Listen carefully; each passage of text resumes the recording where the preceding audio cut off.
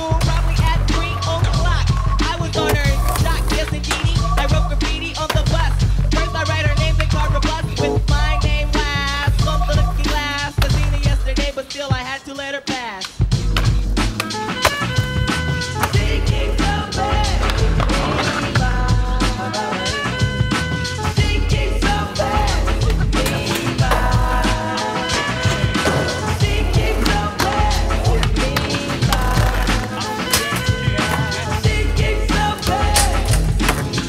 Details I think of me and Shelly. She's my type of hype, and I can't stand when brothers tell me that I should quit chasing and look for something better. But the smile that she shows makes me a go-getter.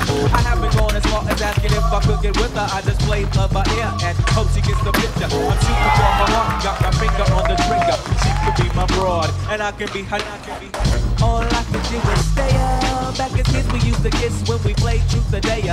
Now she's more sophisticated, highly educated, not at all overrated. I think I need a prayer to get in a book, and it looks rather dry. I guess a twinkle in her eye is just a twinkle in her eye. Although she's crazy stepping, I'll try and stop the stride, cause I won't have no more of this passing me by. Time for me to voice my opinion, be pretending she didn't have me. Sprung like a chicken, chasing my tail like a doggy. She was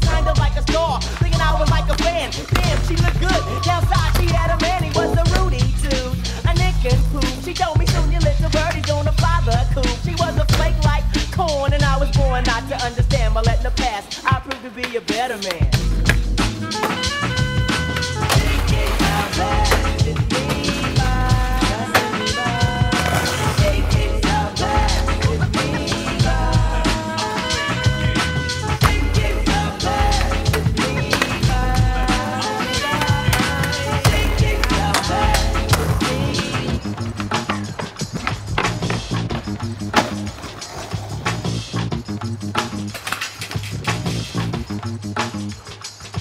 Now there she goes again, the dopest Ethiopian. And now the world around me begins moving in slow motion whenever she happens to walk by. Why does the apple of my eye overlook the disregard my feelings no matter how much I try?